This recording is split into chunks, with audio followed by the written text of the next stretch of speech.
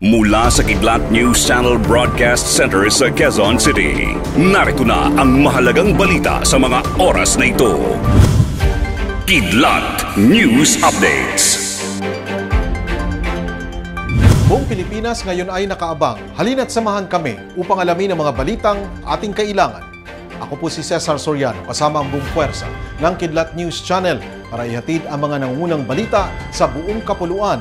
Ngayon, Patay ang dalawang miyembro ng teroristang grupo ng Daula Islamia Maute Group matapos makipagbarilan sa militar sa Balabagan, Lanao del Sur. Sa ulat ng Western Mindanao Command, may focus military operations ang mga tauhan ng 1st Marine Brigade ng maaktuhan ng miyembro ng teroristang grupo. Naniniwala ang militar na bukod sa dalawang bangkay na naiwan, may ilan pa umanong nasawi ang binitbit ng grupo sa kanilang pagtakas. Nabatid pa na may apat na sundalo ang nasugatan sa sagupaan na agad namang isinugod sa ospital sa Maguindanao. Na-recover sa pinangyarihan ng engkwentro ang ilang mga armas, granada at war materials. Nagbabala ang pamunuan ng US Army na aalisin sa serbisyo ang mga sundalo na tumatanggi pa ring magpabakuna kontra COVID-19. Sinabi ni Secretary of the Army Christine Wormoth na inilalagay sa panganib ng mga sundalong hindi bakunado ang kanilang mga kasamahan sa US Army. Nasa 3,000 miyembro ng US Army ang nanganganib na maalis sa serbisyo kung patuloy na tatangging magpabakuna. Noong nakaraang linggo, may anim na mataas na opisyal at dalawang battalion commanders ang inalis sa pwesto makaraang tumanggi sa COVID-19 vaccination.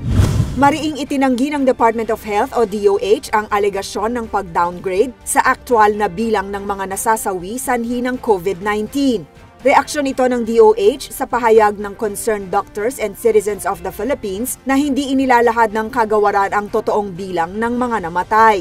Hindi kasi nagtutugma ang datos ng DOH sa bilang na inilalabas ng Philippine Statistics Authority na siyang pinagbabasehan ng grupo ng mga doktor.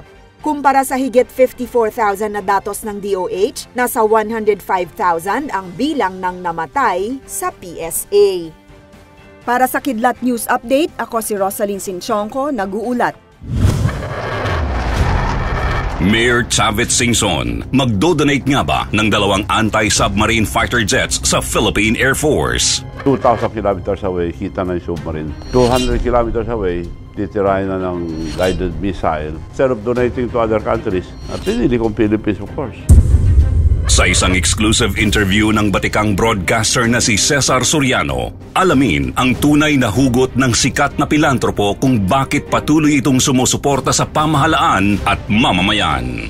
Wala nga bang katapusan ang pamamahagi nito ng pera mula sa kanyang angking yaman?